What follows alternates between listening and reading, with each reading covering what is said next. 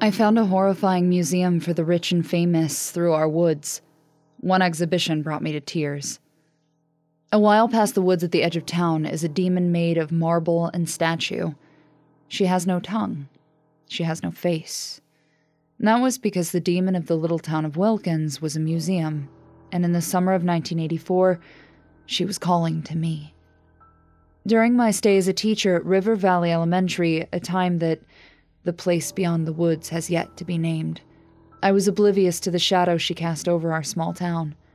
And back then, the museum was only spoken of quietly, if at all cast only into the wind by wet lips carrying playground rumors, never to be heard of again until months later when the mantises would take flight around town, or when somebody went missing.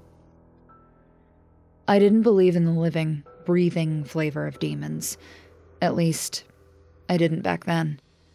I believed in the demons inside of my father's whiskey bottle, the demons that poured out and burned at his throat, those that swelled into his fist and bloomed those that merely showed a glimpse of their painful plum colored skin upon my mother's eyes and cheeks before cowering away into the glass genie lamp from whence they came.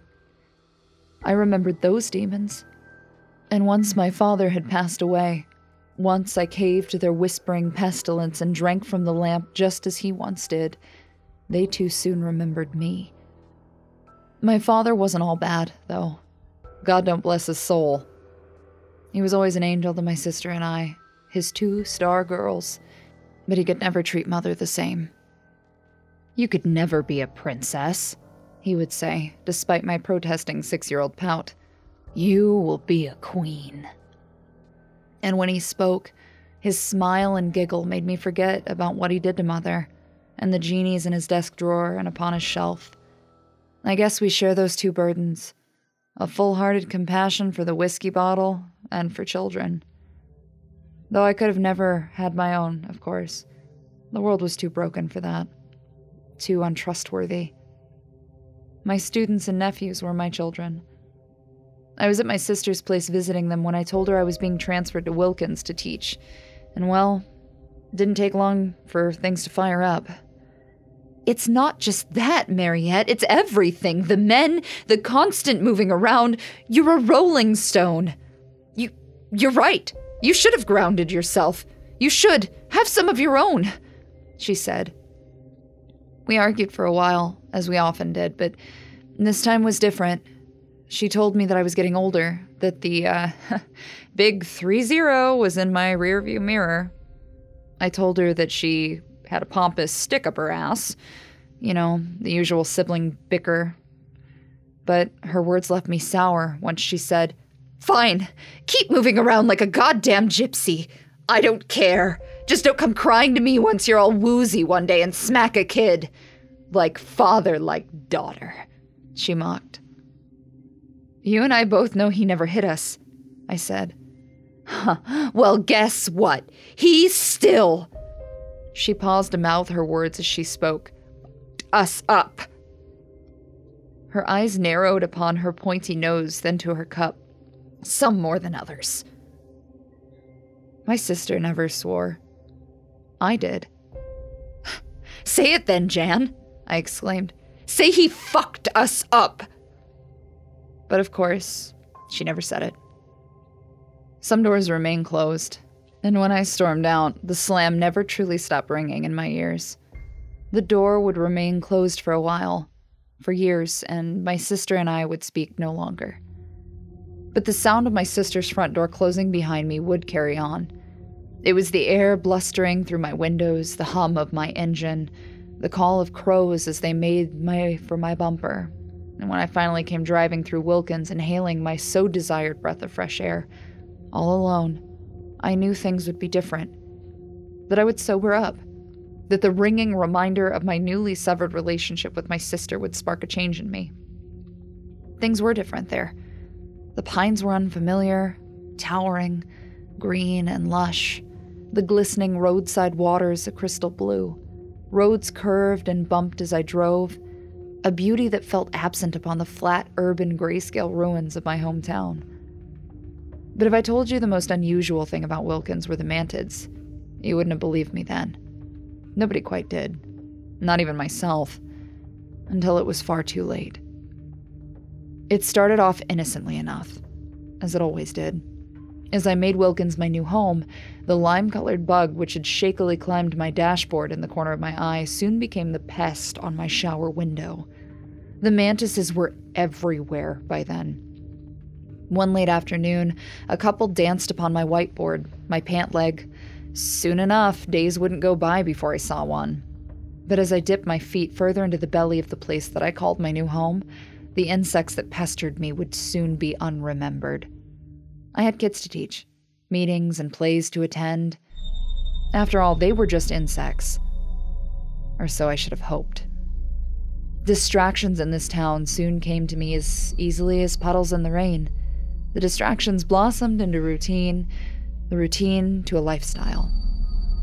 Of course, Lawrence was the first, and a handsome, chiseled one at that. For our first date night the summer of 84, we spent the night curled under a movie projector that told stories of a cyborg hitman sent back in time, or something like that. I didn't really know.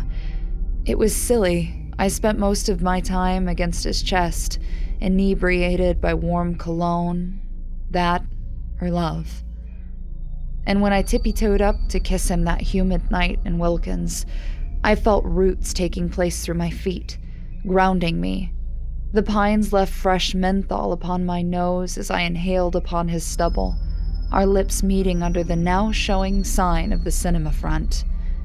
At that moment, I felt truly at home.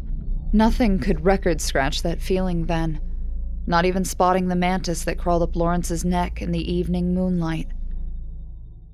When August came around, I'd been living in Wilkins for two months.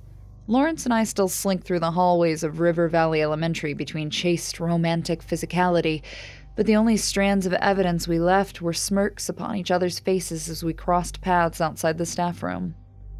I think our fling was lost on all the adults, save for Serena. She was a pretty substitute teacher from Italy on a sponsored trip, and boy, did she have time to pay attention when she was only marking half the number of reports as the usual staff. She paid too much attention.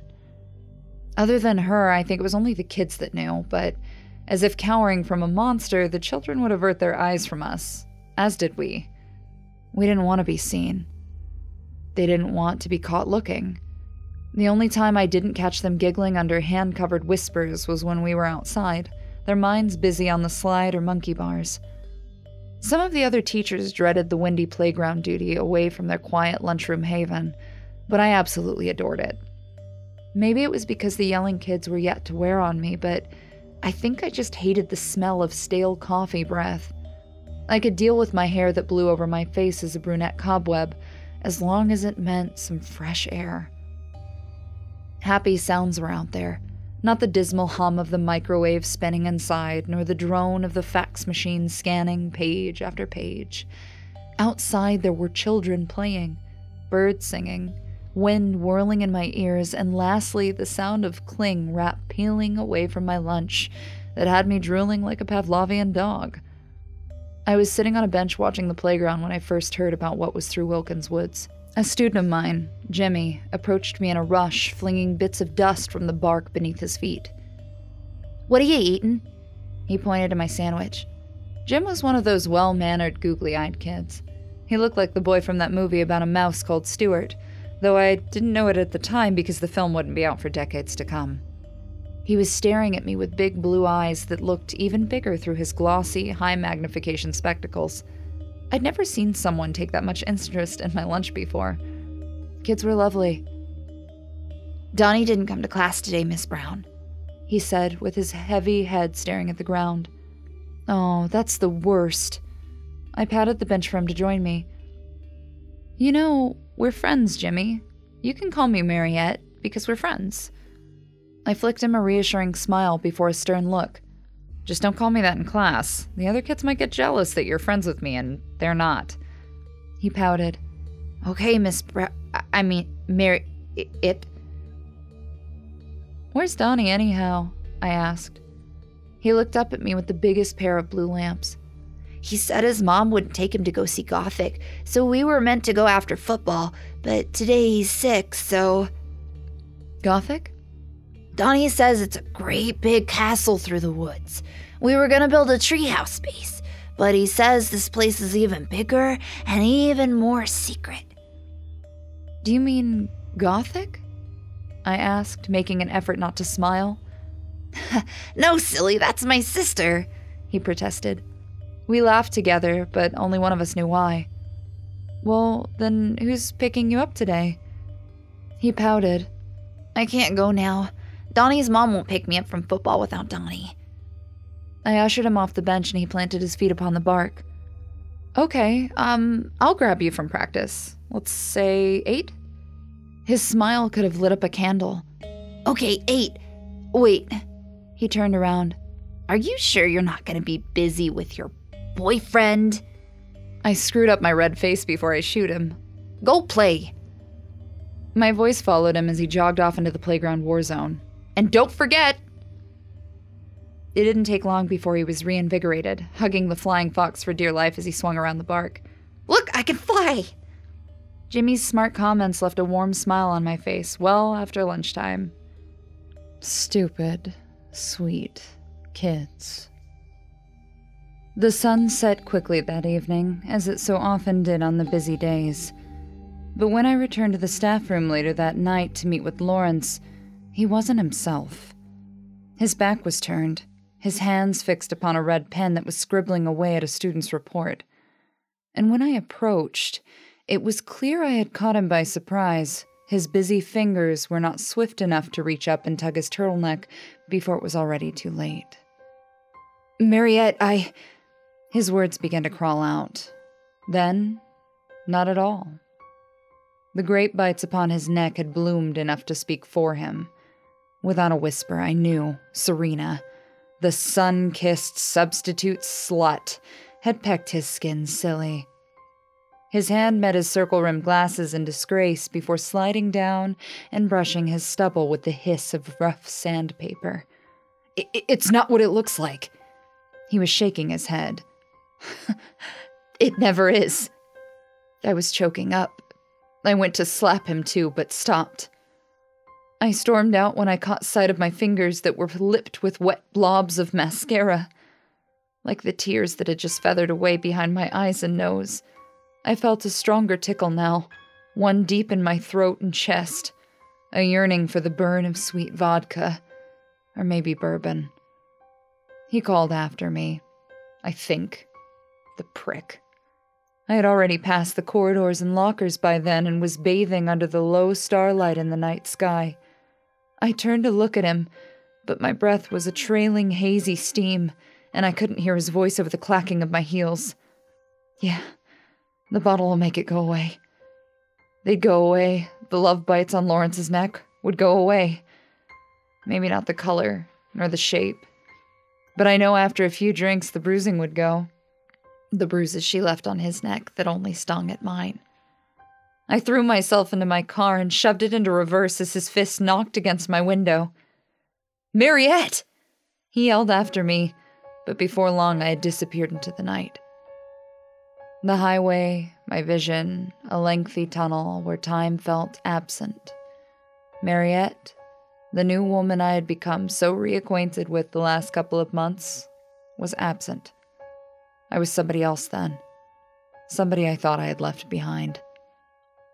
The faces of Lawrence and Serena were as vivid in my mind as the lampposts of the freeway that strobed in my periphery as I sped on endlessly. As far as I was concerned, only one solution could douse their stinging eyes from my head, and it was seductively bottled right at the end of the tunnel. Most bars wouldn't take me in. It must have been the look on my face, an expression that bartenders have grown accustomed to one that was plastered with the desire to lose all sense of self. I don't blame them for not wanting to deal with that on a Tuesday evening. And for so long I drove through my relapsing tunnel of pity, stopping only to gawk at any glowing neon open signs that would pour for me. Any drink would have done.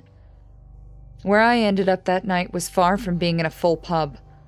Alone in my car, parked atop Makeout Hill, I watched the Wilkins nightscape from above my feet brushing against beer cans, my chest cradling an open bourbon bottle to catch loose tears.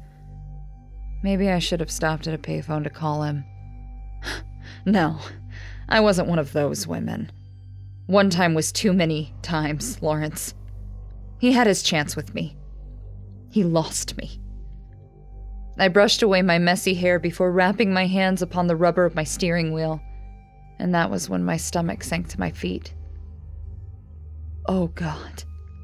My bourbon bottle slipped out of my grip and caught on my lap. I forgot about Jimmy. I came skidding around to the football field at half past ten, my headlights painting the bumpy, neglected concrete of the parking lot.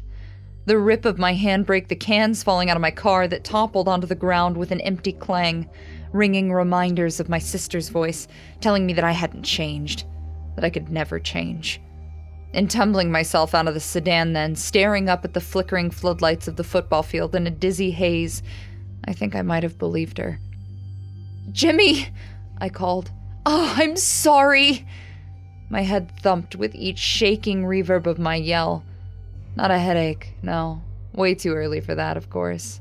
But a crack opening in the dizziness, a trickle, an omen of a sharp pounding that would flood through come morning but as I scanned the blurry field, I couldn't see anything but well kept grass under the cold flashing lights towering above.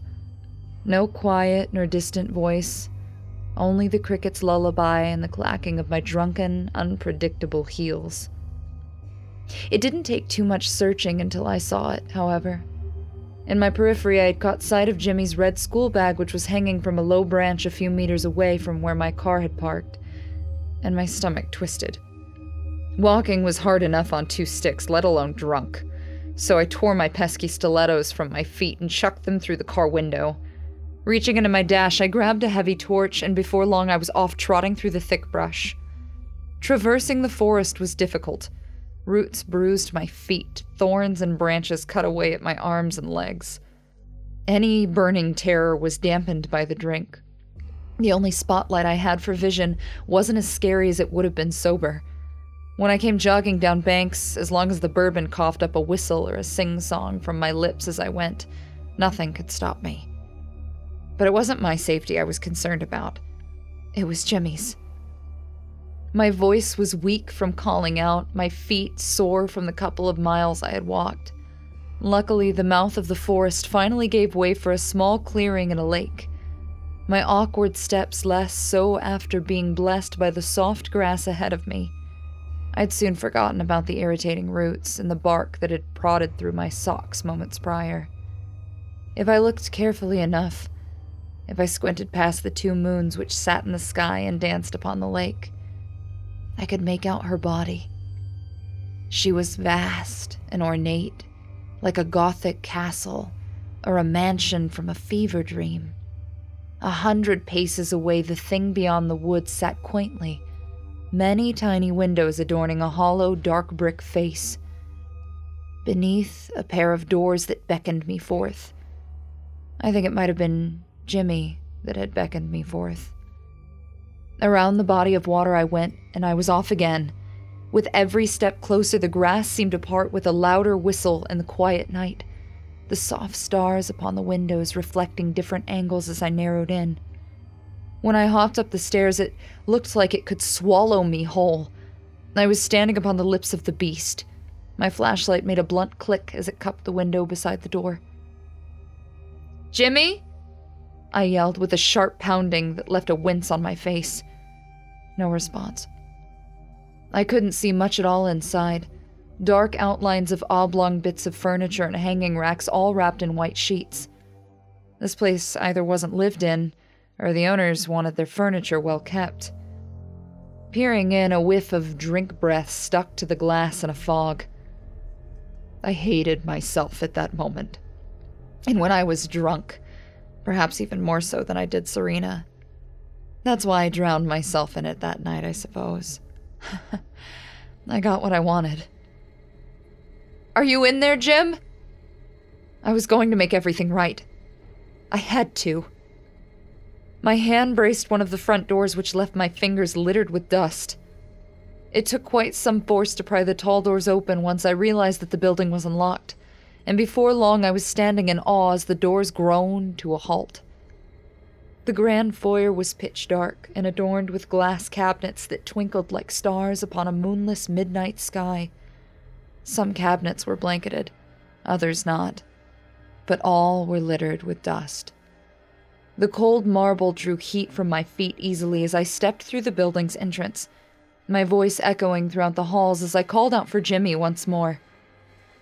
It took a while before I noticed that I was in a museum. Many boxes were still in process of being relocated to their allocated wings. As I passed one of the golden pillars that was wedged between the towering ceiling and the ivory floor, I heard ticking begin to pop beside me. Approaching the center stairwell, one of the display cabinets came alive flickering fluorescent lights tapping away through a cloth veil in the darkness, like a dying lighthouse beacon. It made me leap, and I took off, skidding. I tried the door once more, but it had locked itself tight. Somewhere yonder the marble halls, a silhouette stirred before calling out after me. Security had heard my footsteps. Around the corner I bolted, looking for any exit I could find. I ushered through the northern wing of the museum, through the door under the stairs, leaving the marble floor wet in my wake. I took another left into what must have been the Earth and Nature exhibition. I ran past a few cabinets that were housing things that were a tad strange. At one point, I glanced to my right to see iridescent, child sized beetles that danced moonlight off from their bulbous exoskeletons like aqua fairy dust. Through another glass pane further down the hall, my eye caught sight of ballooned frogs that floated effortlessly from their artificially scaled and rocky wall, right up to the strung neon glowworms hanging above. One nabbed a worm mid-air by the tongue and swallowed, lighting its round belly blue through a thin, membranous green abdomen on its slow descent. For a while, my fingers ran along and bumped across the textured hallway walls as I kept running, only to turn my head to read the golden placard to my left when my digits screeched against something smooth and cold metal. I looked down to read the etching inside the frame that read, Seeds, Growing Life. They won't find me here, I thought. I'll wait it out. The see through door to the display was ajar. Nothing horrifying stood out to me, but what did take me back was the sheer beauty of the room. No museum that I knew could truly capture and emulate the wonder of that enclosure. It was gorgeous. It was walking into the mouth of a cavern. Great stalactites and stalagmites adorned the rocky exhibit. A great gushing waterfall cascaded from one tall wall. The wall itself was coated with a luminescent mold that glowed like the worms I had just spotted, but not enough to blanket the room in a lime hue. Instead, rays of starlight trickled in through a purposely angled window near the great ceiling, bathing the wet rocks down below in a holy spotlight which was partially obscured by the hissing mist of the crashing water. The ecosystem was extensive. Many great bugs sat undisturbed upon the graphite boundaries of the exhibit. I leapt over the thin line of water that ran from the fall and onto the moist stones below, swatting gnats from my face as I went. It was hard to hear myself think over the crashing, washing, and hissing. But when I did think, I thought about how I would wait it out in this room, find Jimmy, and how we would make our way out of here. My heart missed a few beats when I looked up. The man that had been following me down the hall was a mere silhouette in the doorframe to the exhibition. I stepped away as much as I could muster, but the wet rocks beneath were slippery, my feet slipping from below me. The platform I was on could only stretch so far before the water was at my heels. He was shouting at me, a loud boom underneath the violent pitter patter of the waterfall's bounce. The closer he walked, the less he looked like a security guard. He was outfitted with a fine maroon coat and dress pants, shine shoes, and thin frame. I definitely did not know why he was pointing at my feet either. At first, my stomach turned when he jumped down to the stone platform I was sliding on. I thought he was going to kill me. His hands were wide and frustrated as he spoke. When he was several feet away, however, I began to make out some of the words he was saying. It loosened my tight chest somewhat. but it still didn't make sense to me. Something about plants, tour guide, be here, exsanguination. All that managed to trickle from my lips was, I'm sorry, and I'm looking for. He was in my face then, still pointing at my feet, and it definitely didn't matter what I had to say. Listen. His gaunt face looked ghastly in the moonlight. I won't hurt you. I'm just the museum tour guide, but please, for the love of. He grabbed my shirt collar and thrust me into the ground with a thud. Get away from the plants! I could see it clearly then. The night sky that beamed throughout this clear ceiling was illuminating something after all. Great bulbous weeds protruded through the cracks of the stones below the guide and I. They climbed like wild beanstalks up around his suit pant leg, twirling around his calf. Oh, God, he muttered. I didn't yet understand what he was so afraid of, but his horrified, gaunt face alone told me he didn't have much time. Spores filled the air, popping puffs that coughed out of the weeds as hazy green dust all at once. The man was pinching his nose. He was covering his mouth. But before long, I knew it was too late. Just as his expression had alerted me to, I knew the dust had already coated his tongue and throat. The spewed powder burned through his pant leg and lathered his skin in foul vomit colored specks. I felt sick. If I knew he was going to grow, I would have done something.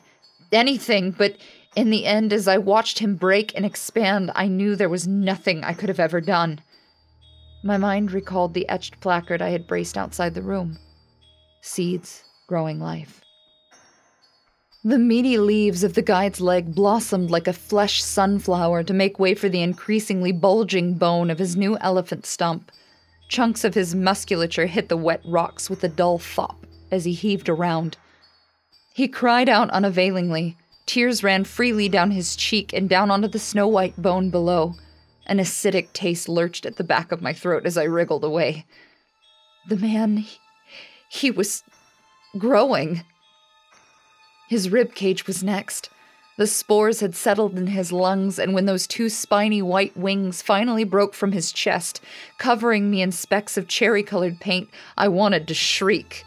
But nothing ever came from my mouth. Only that of a heaving gasp escaped me like I was just plunged into an icy pool. I'm. I gave it my all to stop hyperventilating. I crawled towards him as he collapsed, holding his hand in the dim light that trickled in from the stars above. I'm so sorry. I. There was something that made my skin crawl the most that evening. It was that after all that screaming and suffering, the way he spoke to me then was quiet and deliberate. He was no longer in the museum beside me then. He was fading away to somewhere without worry, someplace new. In a final moment of peace, his eyes met mine before he uttered, Look after Ernie for me, will you? And when his eyes lost light and his head rolled, the winged bugs that were once still on the wall pried away slowly before blossoming into a buzzing green cloud. I came bolting out of the cavern, bouncing off the wall outside in a paralyzing panic. Jimmy! I shouted, my voice echoing through the long hallway of the Earth and Nature Wing. Time moved strangely within the museum's walls. Had I been running around for five minutes? Or had it been an hour? It was impossible that I was simply witnessing my brain proactively erasing the memories of the things that had just happened to me. My mind was trying to save me pain from future trauma recollection, and in doing so, stretched the delicately imagined threads of perceived memory time so thin they would soon distort before fading into nothingness. I cursed myself that I couldn't let the faces of Lawrence and Serena fade from my mind the same. I cursed myself that I didn't have a notebook to jot down that mouthful of a thought bubble I had just in time for tomorrow's class. But of course, how could I teach tomorrow with a missing student? A student that I had left behind. If you're in here, come out. It's Miss Brown. I made my way further down the hall. I really, really want to leave. I'm scared, Jimmy. Bars in the tall windows of the grand building cast their shadows against marble walls. They may have been innocuous at first, but With what I had witnessed that evening, any shift in the storm gray starlight that painted the museum was enough to make my hands quake. At the intersection between what must have been the insect exhibition hall and the museum's greenhouse, a whining squeak beckoned me from behind. The voice through the final door of the hallway was rasp. It was a cry. A baby in distress. On and on the baby cried as my hand met the metal doorknob and resisted entering the room. First a whimper, then a heart wrenching scream. Staring vacantly at the placard which read Breathing Storm, the more my mind would drift to the horrors that would wait beyond, and the less I desired to help. But in fact, the whimper was deeper. It might have been a boy's sob, which meant it might have been Jimmy. Still shaking, I reluctantly twisted the handle and threw the next tent of the horrifying marble circus I ushered. The room was near pitch, save for flashes of light that lit up the room as distant dancing sparks. First the absence of light, then a flash, then an all encompassing nothingness. Air inside the room was blustering and lifting my coat in a violent hurricane. Cold rain pelted my skin before trickling down my nose and chin. Are you in here? I screamed with a chattering jaw over the rushing wind. From what I could see in time during the brief illuminations, there was no Jimmy. The loud storm took my hearing, the darkness took my sight. It was one loud, disorienting, and wet headache, and being drunk was certainly no aid. My hand slid against one of the smooth, drenched walls of the exhibition as I tried to propel my way through the forceful bluster across the room to the other exit door a few meters away. I was halfway to the door when I felt the odd pressure from the rain against my arms. I realized the sparks I had seen were strands of lightning. I was in sight of a miniature storm. And with each step closer to the door, I felt the water coming from the ceiling beginning to take shape, beginning to wrap around my wrist.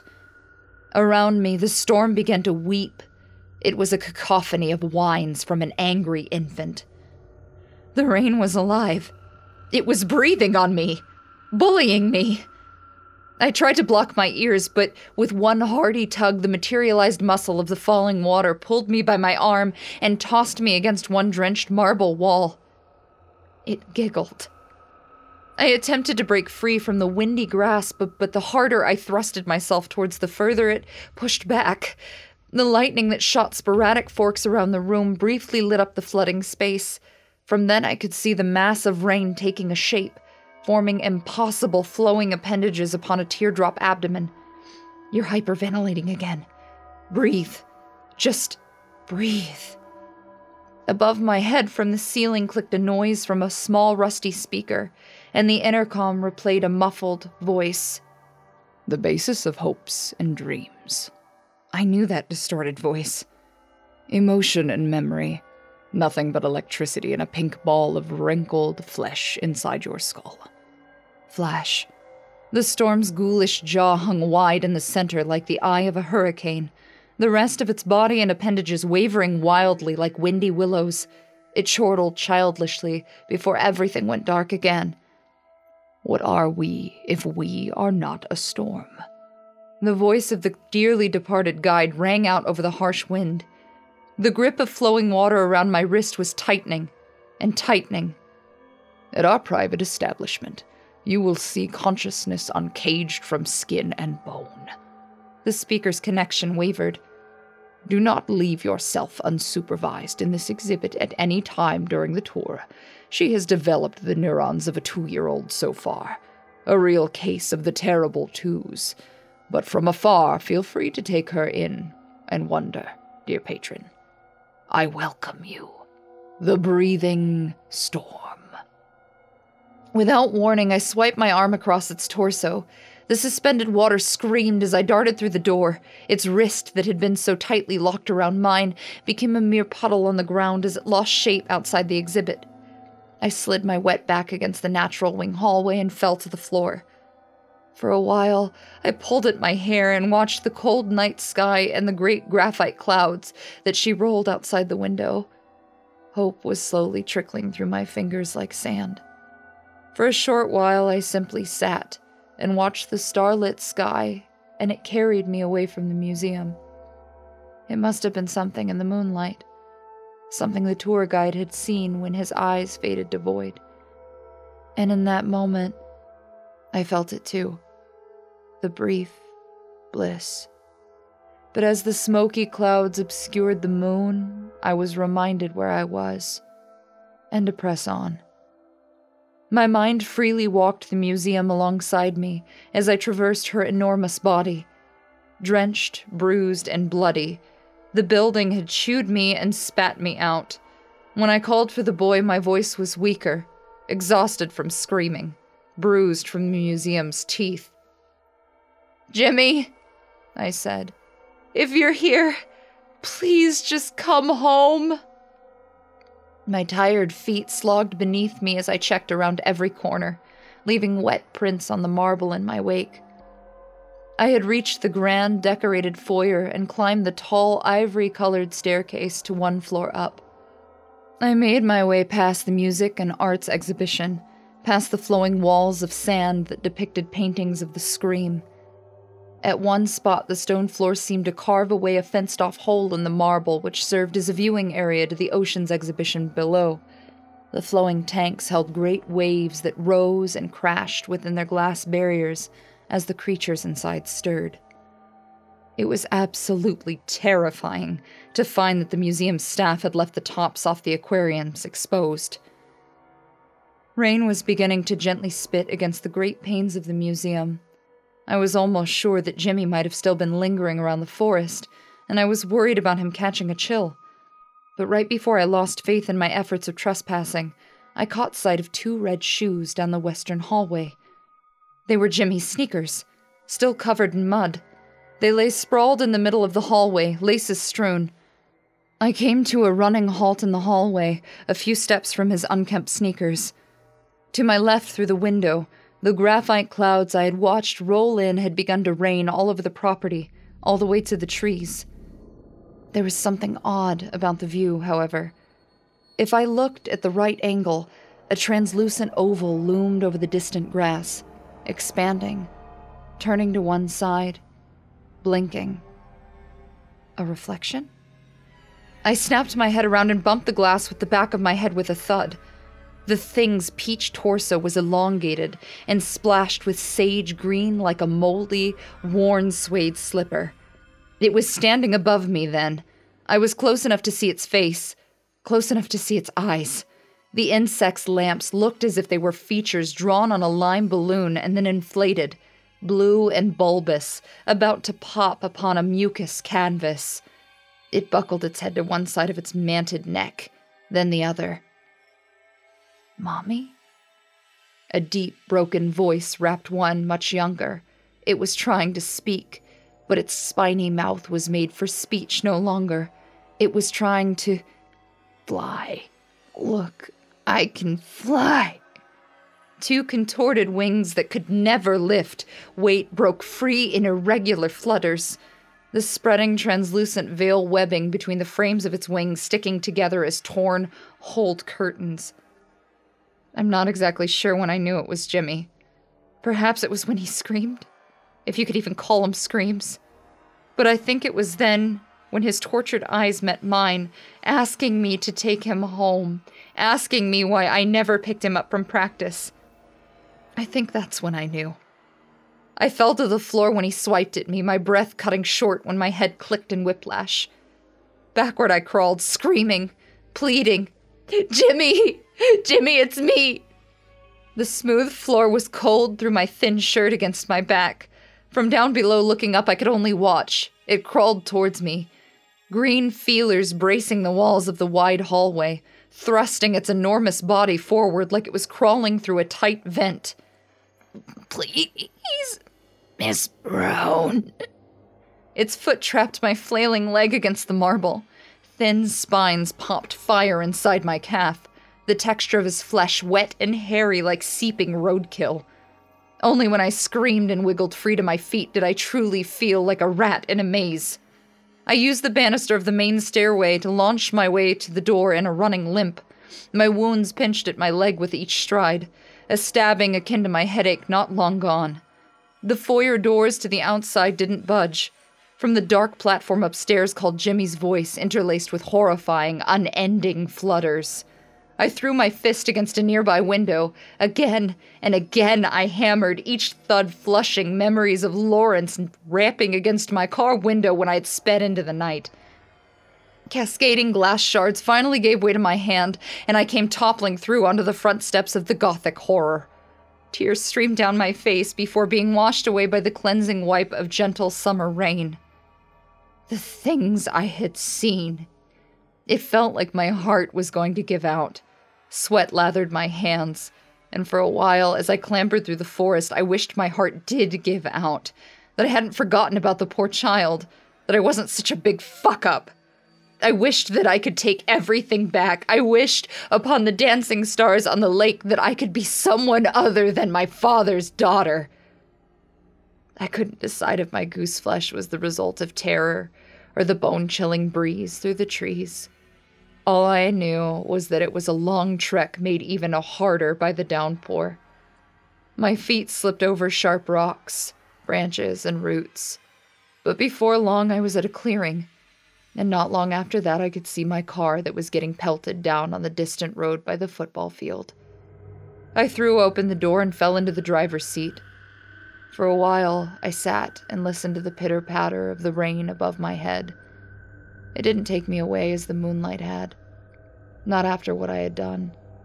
Not after I had forgotten to pick up Jimmy because I was too inebriated to remember how to be a good person. I clawed my fingers around the rubber of the wheel with both hands and trembled. I screamed and screamed into the night sky, though the sound didn't come out nor would it ever come, because I knew my throat was no longer wet with bourbon. It was tight with guilt, so tightly fastened with anguish. Instead, all I heard were Jimmy's contorted screams that bounced inside my skull like a distant, dying police siren. I was spinning. The crash of my bourbon filled genie lamp against the pavement could not silence his crying pleas nor bring my absolution. And that night, through the windscreen upon the midnight tinted skyline, my wet eyes caught momentary beauty. Dancing emeralds flickered and zipped by in swarms of flourishing sage, quietly and gracefully, like wavering grass. The mantises were taking flight. I had to go back.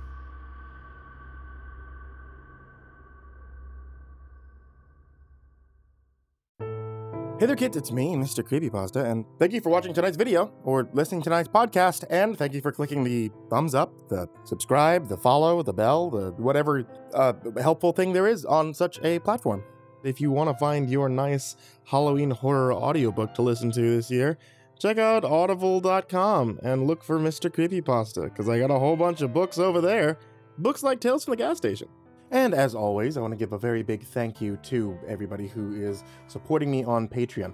If you guys have been supporting me on Patreon, or if you're considering doing so, then know that I just added in a couple of cool things for the loyalty program because I found out that I could. I had no idea that I could do that. So now, you guys should be getting some cool things in the mail brought to you by Patreon that are pretty cool. They support the channel as well. Oh, getting to the point though, a huge thank you to patrons such as Jordan Alexander Sanchez, Brian Ars, Bobby Carmen, Stephanie Butler, Tristan Pelton, Chance Burnett, Diana Kraus, William King, Heather McDonald, Reaper61167, Alex the Sandwich, Darth Miver, Michael Ortiz, Satanic Aries, Ness69420, Isoto Hatred with two exclamation points, Nessie, Ronnie Hansen, Bardohawk764, Melancholy Corpse, Ferb, Harley, Billy Morrow, Madam Skullbunny, Sashi Suzaku, Grizzly Olsen Pro, Caden the Spooky Boy, Zane Nightshade, My Body Sounds Like Rice Krispies, Ashwood, Lord of the Weebs, Jay, Miss Alexandra, Mr. Unsettling Spaghetti, Suji Campbell, Stricken, Azarine Fox, Fried Chicken 12, Freddy Krueger, Pie Nanny, Michael Scarborough, Infernal One, Lisa Cottrell, Caspian, Jordan Elves, Hades' Nephew, Tater Chip, Acid System, Prozac and Pancake Appreciation Society, Cryptic Nightmares, Kiri the Sloth, Tommy Green, Fester's Lampshade, Sky Harbor, Nina Smith, Nico Cayo, Rafael Rodriguez, The Ginger Bros, Aaron Stormcrow, Daniel Polson, Trace Miles, and Corey Kenshin. Thank you guys so much,